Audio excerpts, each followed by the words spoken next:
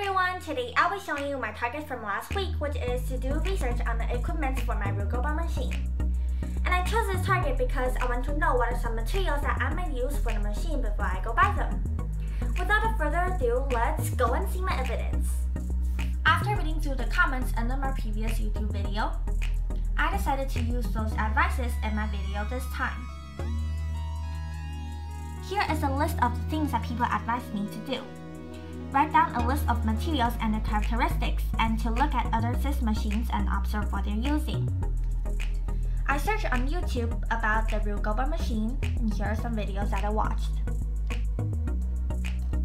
I also write down the things that I think I might use and here's a list.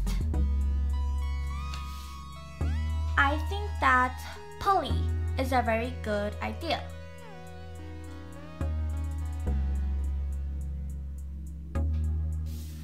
Is a very useful transitioner because it can change the height of an object.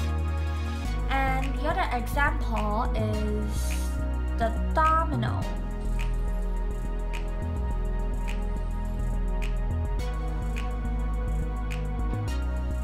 Dominoes are good for longer distances and I might use some old CD boxes and books to make them.